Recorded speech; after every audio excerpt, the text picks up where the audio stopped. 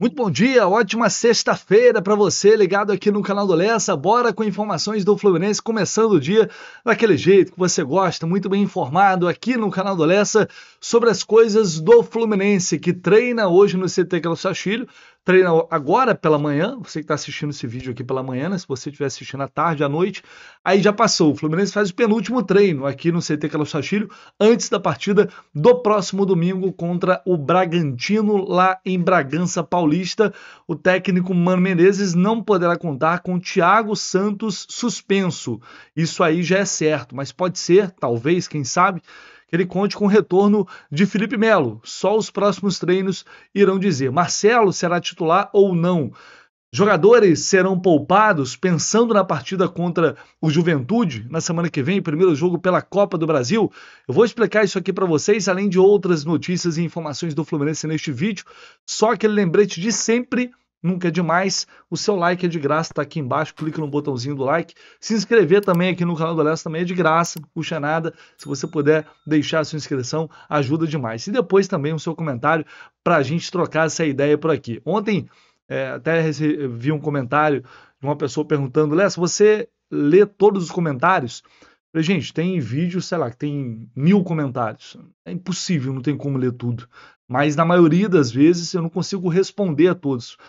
Eh, me esforço para responder o máximo possível. Mas estou sempre lendo ali que vocês estão, estão escrevendo, inclusive críticas, elogios, não importa, mas muito obrigado pela participação de todos vocês. Né? O objetivo é sempre ter esse feedback que é muito importante, seja ele, seja ele positivo, negativo, e a gente vai avaliando conforme as coisas vão acontecendo. Então, vamos embora, vamos, vamos de notícia.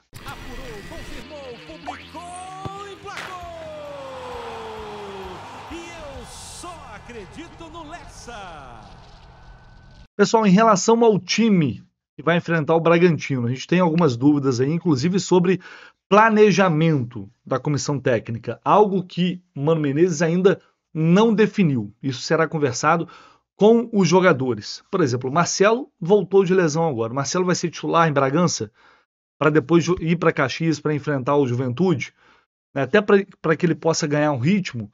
Marcelo vai ser lateral esquerdo, Marcelo vai ser meio de campo porque o Mano deixou claro na entrevista coletiva, até trouxe para vocês aqui ontem pela manhã, que ele vai ter uma conversa ali mais profunda com o Marcelo para saber se ele tem interesse de jogar no meio, porque ele entrou como meia diante do Palmeiras, mas foi algo, segundo o Mano, conversado para aquele jogo. Não significa que vai acontecer sempre. Então essa já é uma, uma dúvida e algo, é algo que a gente tem que ficar de olho para esse jogo de domingo. Em relação a Thiago Silva, ele pode ser poupado. Thiago tinha uma programação de estrear contra o Palmeiras, e até ele fala na entrevista coletiva que a estreia acabou sendo antecipada para o jogo contra o Cuiabá devido à necessidade do time. Graças a Deus por isso, né? O Fluminense não levou gol nesses dois jogos. E aí é, há um planejamento definido para o Thiago Silva, que é diferente dos demais jogadores. Ele vai ter que dosar um pouco esse ritmo, principalmente porque ele está voltando de pré-temporada agora, né? Ele está vindo de uma pré-temporada. Importante lembrar isso enquanto os outros já estão ali no meio da temporada. Então há de se ter um cuidado com isso. O Thiago Silva se cuida demais, absurdamente. E aí é uma dúvida também se ele vai começar esse jogo ou se ficará no banco de reservas ou sequer vai viajar para Bragança. A questão é que o Thiago Santos também não pode jogar. E aí será que a opção mais plausível seria tentar um terceiro jogo com o Thiago, se ele estiver em boas condições, para poupá-lo contra o Juventude e aí já vai ter a volta ali do Thiago Santos. E fica a dúvida se o Inácio vai estrear ou não. Se o Thiago Silva for poupado, a gente terá uma zaga com o Inácio estreando e Antônio Carlos. Não acho o cenário ideal para Campeonato Brasileiro, sinceramente, porque é uma zaga que não tem entrosamento. Né? O Inácio acabou de chegar. Então, sinceramente, tem dúvidas sobre isso. Se não é melhor o Thiago Santos jogar no domingo do que enfrentar o Juventude. Não sei o que vocês pensam sobre isso, deixem nos comentários. Mas enfim, são, são decisões que o Mano vai ter que tomar é, e ele vai levar em consideração certamente não só esses dois jogos, mas a sequência pesada. E depois vai ter o jogo contra o Bahia, depois jogo de volta contra o Juventude, aí é o Vasco e depois já vem Libertadores contra o Grêmio. Então é uma sequência muito pesada e é aquilo que a gente vem falando. É torcer muito para mais uma vitória domingo, seria espetacular. Porque o Fluminense reagindo no Campeonato Brasileiro, voltando a subir, ou continuando, na verdade, a subir na tabela, a gente vai poder olhar para as Copas com mais carinho, na expectativa de permanecer e avançar de fase nas duas competições.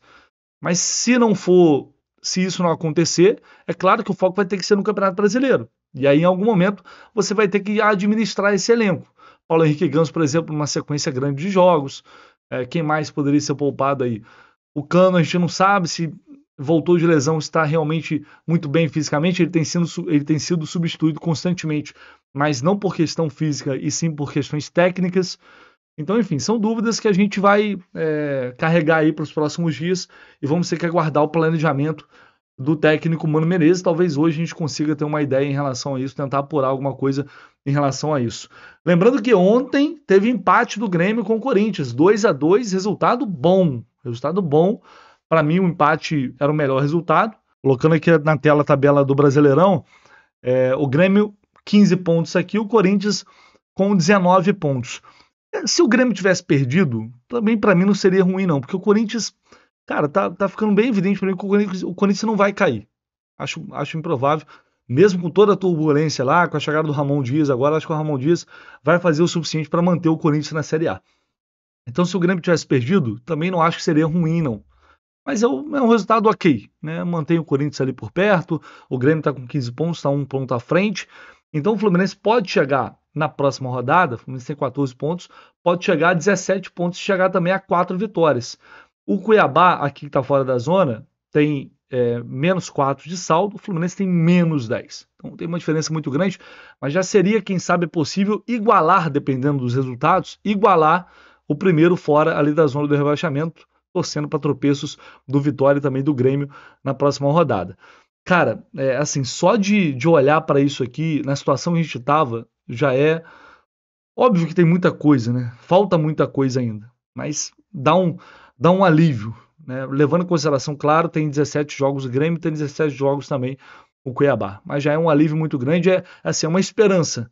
A esperança ela fica cada vez mais forte à medida que o time seguir pontuando. E tomara que domingo o Fluminense consiga mais esses três pontos. E a gente estava falando sobre Thiago Silva, né? Agora há pouco, a monstruosidade de Thiago Silva. E olha só o que o Breiler Pires, o jornalista da ESPN, falou né, no programa sobre, sobre o Thiago Silva.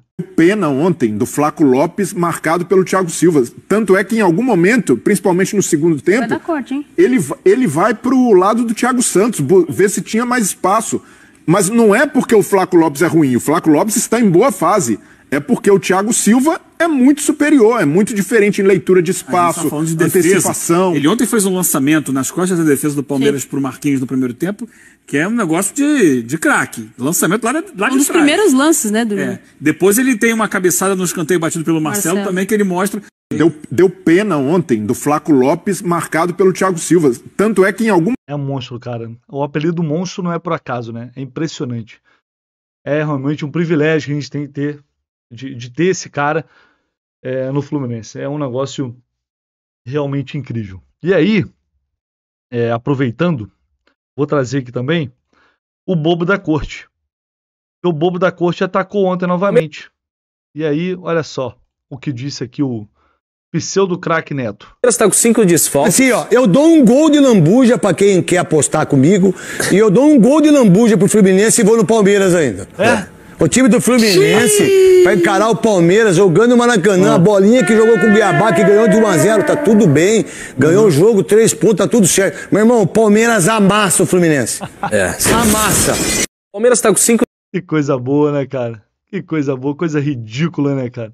Impressionante como não cansa de passar vergonha. Mas o objetivo também, no fim das contas, é esse, né? Mas tô esperando aí, o craque Neto, o amasso do Palmeiras. Eu tô esperando aí a o atropelo do Palmeiras no Maracanã. Piada, cara. Coisa ridícula. Mas, enfim, objetivo alcançado mais uma vez, provavelmente, né? É isso, pessoal. É, hoje tem entrevista coletiva com Nonato e Serna. E como sempre, estaremos presentes no CT Calaçachiro para trazer as informações direto do CT, inclusive do treino do Fluminense de hoje. A apresentação de dois reforços contratados para esta temporada Serna e Nonato vão falar com a imprensa e mais tarde vocês ficam por dentro de tudo, tá bom? Um abraço, tamo junto. A gente volta com informações direto do CT, aliás, live no CT. Vamos fazer live. Vamos abrir live no canal do Lessa, o grupo Jornada, no Jornada, no, no Raiz Tricolor, a partir dali mais ou menos às 11h30 da manhã, beleza? É, a coletiva está prevista ali por volta de meio-dia, a tendência é essa, então por volta das 11h30 da manhã a gente abre ali a transmissão. Fechou? Um abraço, tamo junto, valeu!